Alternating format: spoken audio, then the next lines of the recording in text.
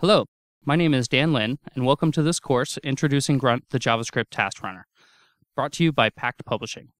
I've used Grunt for almost two years, and this course was designed to show you how to use Grunt to automate your development workflow and is intended to be helpful to anyone who is developing a website and has a basic understanding of JavaScript. Before we begin with the course, there are a few things you need to know. The course has been divided into seven sections, Getting started with Grunt will be the first section, followed by a section called Running Grunt, where we'll talk about the different ways Grunt can be run. Then we'll move on to the section on code compiling, in which you'll see how Grunt can handle the compilation of many different types of languages. We'll also cover file manipulation, in which you will learn how you can manipulate files, including moving, optimizing, and renaming them. After that, we'll move on to the slightly larger sections on testing and deployment, as there's a lot to cover there.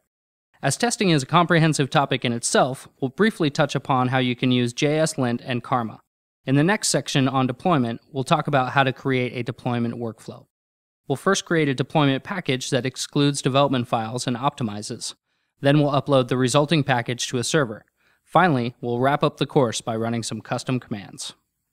The main prerequisite to this course is to have Node and Node Package Manager installed on your machine. Node is a JavaScript technology that runs on your machine. It has the ability to do things like run web servers, but we won't be using any of its features. What we're interested in is the NPM. NPM will allow us to install plugins and make it easy for the next person who comes along to work on the project with the same tool. In this video, we went through what will be covered in this course and the prerequisites such as Node Package Manager, referred to as NPM, that allows us to install everything. In the next video, we'll see how Grunt can help automate menial tasks.